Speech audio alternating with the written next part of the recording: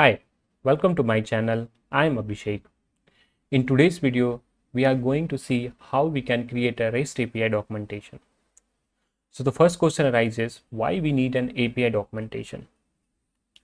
To answer this, basically uh, our API is going to consume by a, a wider audience such as front-end developers or peer developer. So in order to consume those API by them, they need an endpoint details or body params or path variable what we have used inside our REST API. So API documentation is end-to-end -end guide uh, where it explains all these questions. So inside our Spring Boot world, we have a, a Swagger library which deals with this uh, details only. It provides you all the details, all the parameters needed in order to consume those. So let's see how we can integrate in our Spring Boot application. So first I will take you to the uh, Swagger official uh, repository inside the GitHub.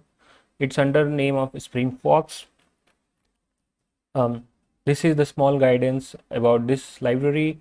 You can go through it. So to get, get started with this library, you need an uh, this dependency to be added in your project. Same you can find inside the Maven repository as well. So let's copy this and integrate in our project. So I will go to the pom.xml. So inside the uh, dependencies tag before these dependencies, you can add this. And after adding, uh, just refresh, uh, reload your Maven dependency. And in my case, I have, um, I guess I have already added so in your case if you are adding the first time you just need to reload and do maven goal execute like clean and install. So it will get added to your project. So let's after adding let's uh, hit the run button. So it's building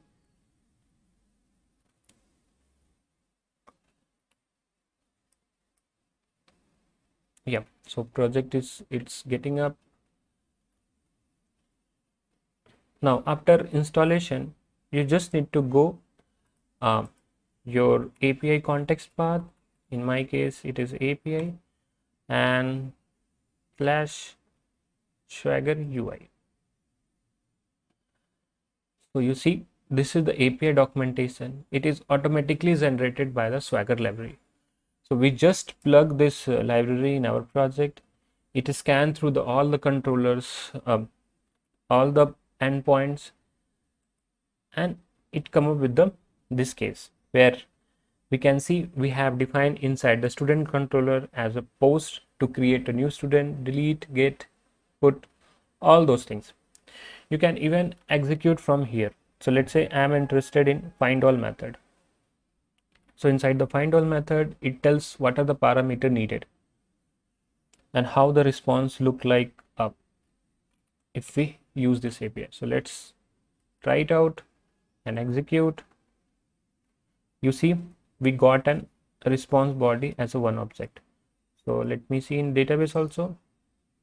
So you see in database, we have only one object. So that's why in the response body, we are getting as one with id 3 let's hit uh, another api i'm interested in this. So it says we need an uh, id as a mandatory parameter. Let's try it out. Now give the id 3 because we have id 3 in our uh, backend sorry our database. So let's execute. So it returned exactly one. Even you can delete also from here. So let's call delete try hit the parameter. Execute you see it gave the response also. Student deleted. And this is the response header. So if i go to the database and just refresh you see the object has been deleted. So this is the uh, very cool um, in terms of generating the api documentation. Now this documentation i can directly pass to the my front end team or my peer developer. They can come to know uh, what are the essential thing is needed in order to consume this API.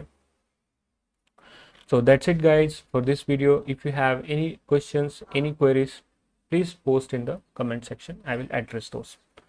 Or if you came directly to this video I recommend you to uh, watch my previous video where we have uh, created a REST API from the scratch. We have also handled the exceptional exception handling using controller advice and other details.